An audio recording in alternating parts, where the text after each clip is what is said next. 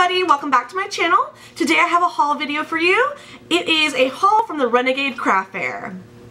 Now, if you've never heard of the Renegade Craft Fair, it's an amazing traveling show that goes to various cities throughout the U.S. and they celebrate shopping local and supporting local businesses, but there are artists and uh, sellers that travel with the show. So you might not always see somebody from your city at that show who's selling stuff, but they are local independent designers and makers and bakers and everything in between. So it's a really cool event to support. It's free to attend and they have literally everything at the show. So everything from food products like beef jerky, cold brew coffee, to candles, home decor, art, stationery, to jewelry. Tons of jewelry, sunglasses, clothing, clutches, leather goods. Oh, they have everything. So I did a haul uh, from the show last year.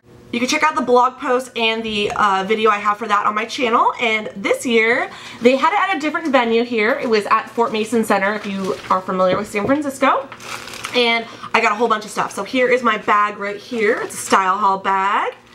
And I didn't get that at the show. I got that at a separate event. So I'm just going to dive right in, show you all the goodies I got, and I'll link all the independent designers and product links I can below because obviously it's gift giving season and it's great if you can get somebody a unique gift and I think that you know when you shop at smaller vendors you're gonna get them a more special gift that they'll appreciate so so yeah, we'll start off with my necklace. I am wearing this uh, onyx necklace. It's on a brass chain.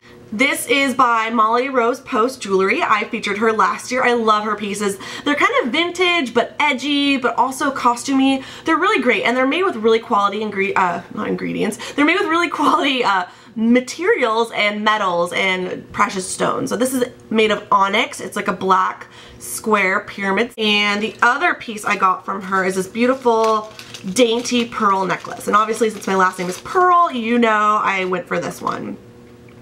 So it's just three freshwater pearls on a gold strand and it's very understated and delicate and might be really good for layering. So I like this piece and I can't wait to style that. So I love her, love her stuff. So another jewelry vendor I visited was Snash Jewelry. I think they're based in Brooklyn. Here is their card right here. They make really cool statement jewelry.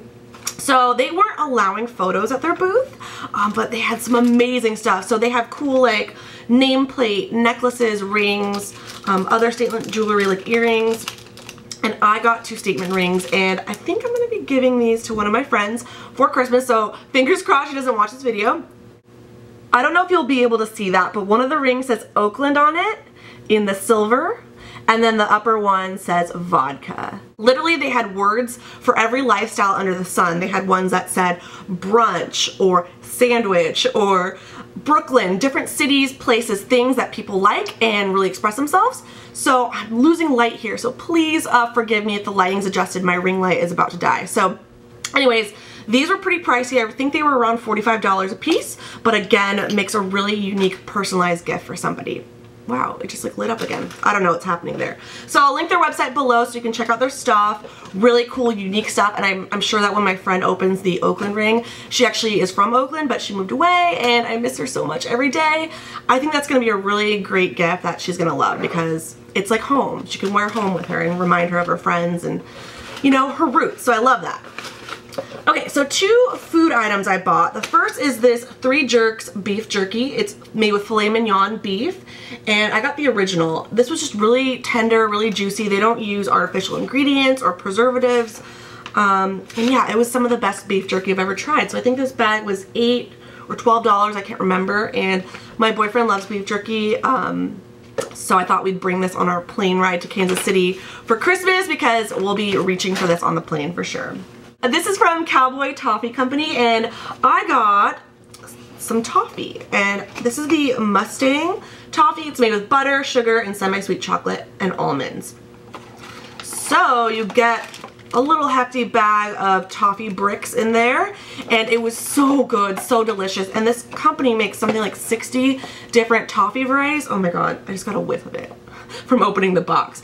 They had things with like ghost peppers, habaneros, peppermint, um, bittersweet chocolate, dark chocolate, a little bit of something for everybody. So I really recommend this company. Check them out and it was really affordable. It makes a great gift or stocking stuffer.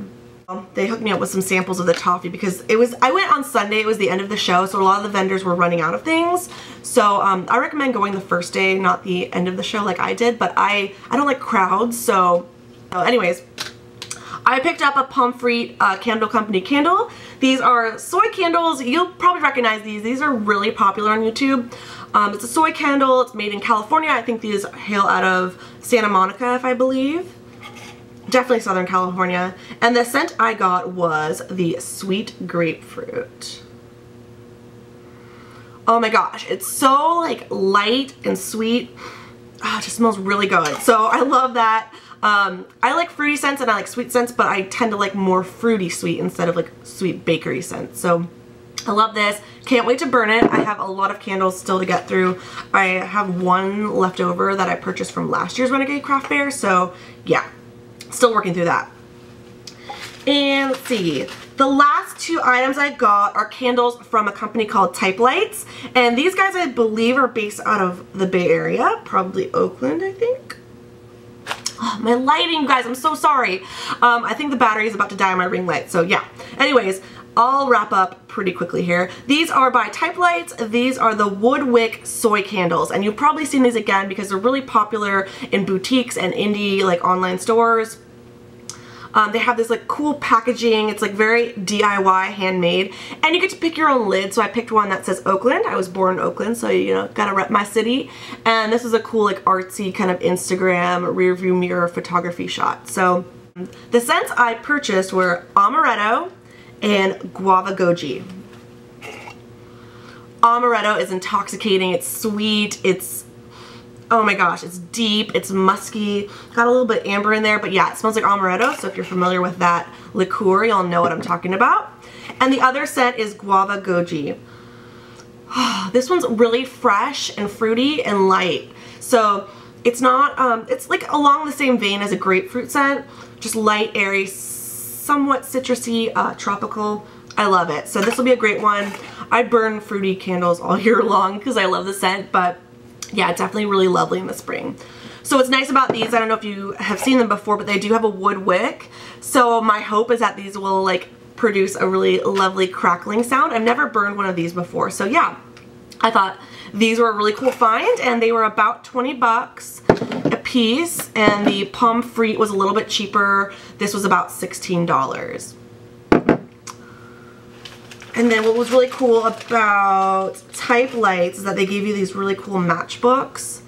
That, like this one has a Shiba Inu on it and this one has California Street. This is in downtown San Francisco. And just really cool stuff. So I'll definitely link these guys below as with all the products we featured here today. Alright, so that's it. I feel like I spoke a million miles a minute. If you missed anything, Everything will be listed in the description box below, so please check that out. And of course, as always, check out my blog, chelseapearl.com. I'll try and incorporate any coupon codes I can find for these products now that the holidays are coming up because obviously, who doesn't like to save money? Alright you guys, so thanks again so much for watching. I'll see you very soon in my next video.